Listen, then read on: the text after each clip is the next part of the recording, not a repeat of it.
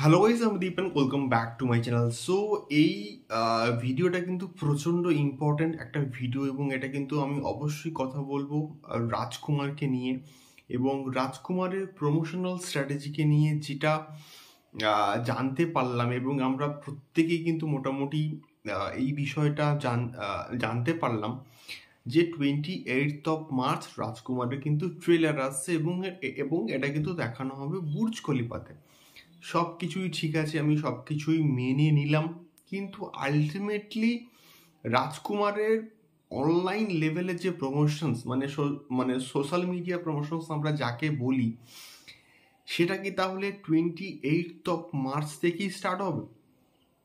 এটা সব থেকে বড় কিন্তু একটা প্রশ্ন আমার, যে রাজকুমারের পুরো টিম কিন্তু অনেক বেশি সময় পেয়েছে, রাজকুমার অনেক বেশি সময় পেয়েছে অ্যাজ কম্পারিজন টু প্রিয়তমা। প্রিয়তমা যতটা কম সময় শুট হয়েছে তার মানে অনেক কিন্তু মানে বেশি সময় কিন্তু পেয়েছে রাজকুমার।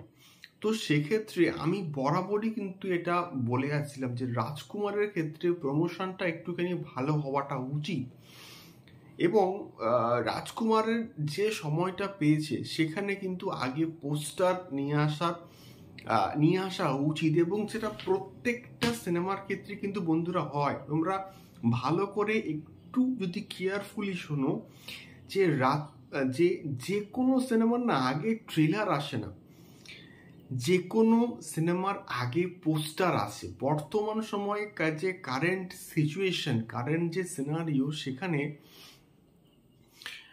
ট্রেলারটাই হচ্ছে তুরুপের তাস ট্রেলারটাই মানুষ হয়তো ছবিটা রিলিজের এক সপ্তাহ আগে নিয়ে আসে। তার আগে একটা পোস্টার আসলো, তার আগে একটা গান আসলো টিজার নিয়ে আসা হয় সবার ফার্স্টে পোস্টারের পরেই তারপরে গান আসলো এবং সবার লাস্টে ট্রেলার আসলো।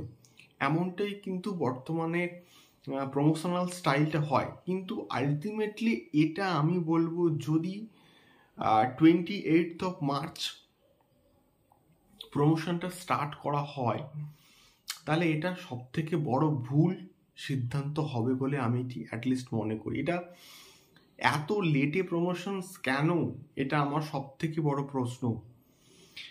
যদি রাজকুমারের ট্রেলার আসার পর থেকে তার পোস্টার আসে, তার গানগুলো আসে, মাঝখানে কিন্তু ম্যাক্সিমাম দশ দিন কি বারো দিন সময় পাওয়া যাবে। তো এর মাঝখানে এত কম ডিউরেশনের মধ্যে এতগুলো কন্টেন্ট এতগুলো গান পোস্টার এগুলো নিয়ে আসা কি যুক্তিযুক্ত? তোমরা প্র্যাকটিক্যালি একটুখানি ভেবে দেখো। এটা তো অ্যাটলিস্ট আমার যে ব্যক্তিগত মতামত, সেখানে কিন্তু যুক্তিযুক্ত অতটাও লাগছে না কিন্তু বন্ধুরা। দেখা যাক এক্স্যাক্টলি ইমেল অ্যাস্ট্রপ এবং পুরো রাজকুমারের টিম কি প্ল্যানিং করেছে, একমাত্র তারাই কিন্তু মোটামুটি বলতে পারবে। তবে আমার অ্যাটলিস্ট মনে হয় যে প্রমোশনটা আরও আগে থেকে পোস্টার টিজার গানগুলো এবং সবার লাস্টে যদি টোয়েন্টি এইট মার্চ এটা ট্রেলারটাকে নিয়ে আসা হয়, তাহলে প্রচণ্ড ভালো হতো। দেখা যাক কি হয়। ট্রেলারের আগে আমরা পোস্টার বা কোনো রকম অ্যাকশন টিজার বা গান এগুলো পাই কিনা? তোমাদের কি মতামত? আমাকে অবশ্যই কিন্তু কমেন্ট বক্সে কমেন্ট করে শেয়ার করতে পারো। দেখা হচ্ছে পরবর্তী ভিডিওতে টাটা।